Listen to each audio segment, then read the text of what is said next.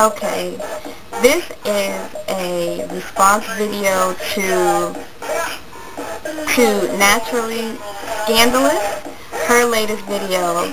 And basically on the video she was just saying don't don't let people deter you from going natural and don't let people deter you from staying natural.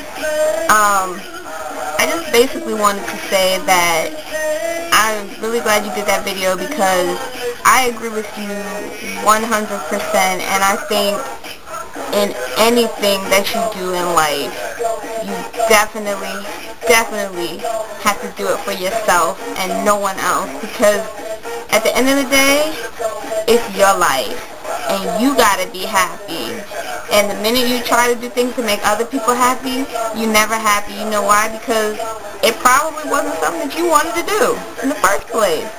The end, they don't have to look at you in the mirror at night before you go to bed or when you're taking stock of your life, you do.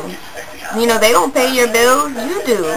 So, I agree do you, don't worry about what other people say.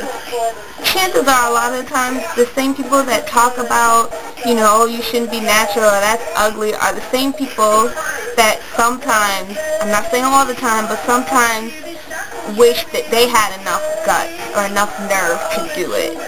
Um, I don't know. Me personally, I didn't receive a lot of opposition, but I had made up my mind, no matter what anybody thought, that I was going to do it and I was going to own it and it was going to be mine.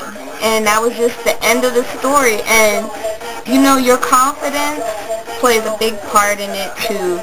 If you're confident and, you know, you do you and you have your style, I find that people don't really say that much. You know, if you're confident in yourself and your decisions in life, a lot of times you're not going to get opposition. I mean, you will get those people that will still try and test you, but it's, it's your life.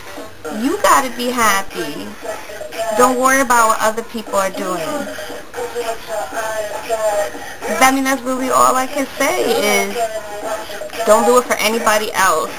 And, you know, sometimes for some people, if you know you're going to get a lot of opposition, then sometimes maybe you don't want to tell everybody right away. You know, maybe you just want to do your thing and then do the big chop and the next time they see you, you get short hair. That way you ain't got to hear nothing or whatever. But I think you have to be prepared that some people are going to get opposition because as much as the natural scene is growing and is becoming, you know, more regular, there's still a lot of people that just have the old school uh, frame of mind. I was out the other day with my cousin and some friends, and these guys that they know were just, you know, cracking different jokes and, you know, the Erykah Badu and all this. I mean, and Erykah Badu is cool, don't get me wrong, but sometimes we just have this perception that being natural is, you know, fight the power and Erykah Badu and this and that, and it's not about that, you know. We, understand that in the past, hair has been really an important thing and a big thing, but we live in a time now where stop giving that stuff energy.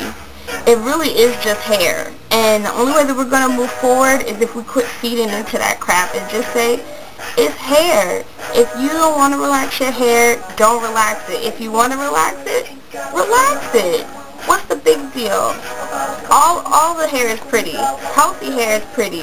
I see so many people on the street with relaxed hair that is not nice.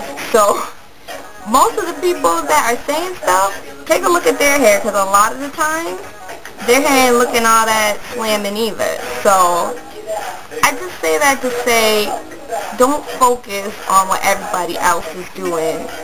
Do you. And if that's what makes you happy, everybody else will have no choice but to sign on. If they don't, you know, like like she said, give them the deuces and say, you know what, your opinion really isn't up for discussion. It really isn't. At the end of the day, you know, like those those guys that were trying to tackle me or whatever, I was just like, you know, whatever. I really don't care. You're not as fly as me anyway. So, so at the end of the day, people, I can't say it enough. I know I probably sound repetitive, but you gotta do it for you. You can't be concerned about everybody else because, trust me, you're beautiful no matter how you choose to wear your hair. How about that? Straight or curly, you're beautiful either way.